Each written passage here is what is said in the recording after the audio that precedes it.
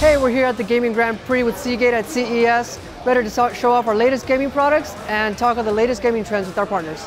Over the last couple of years, we've seen a lot of trends and developments in gaming, especially related to storage. First, we've seen the growth of games rise tremendously. Just a few years ago, games maxed out at 7 gigabytes each. Today, games range anywhere from 400 megabytes to 200 gigabytes. And that number is growing from 4K to HDR, downloadable content for games that operate as a service, VR, AR, and MR, everything else that's coming down the pipe, we expect to see game sizes continue to rise. Forza Motorsports 7, which is the latest uh, version of Forza featuring over 700 cars.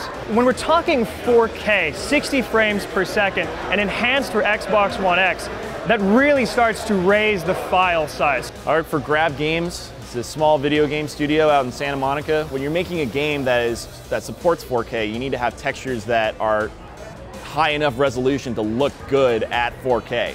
And those textures are massive, massive, massive files. And you need to have, you know, large format storage in order to be able to store all that. A lot of the, you know, hardcore PC gamers, they recognize that, and that's why the most popular setup nowadays is to have a high performance SSD where you can put your OS and Chrome and all of your other essential applications, and then have the larger format traditional hard drives where you can put games and other media on there. So we've heard a lot of very exciting things in gaming. I'm very excited to hear that Seagate is going to be part of this future.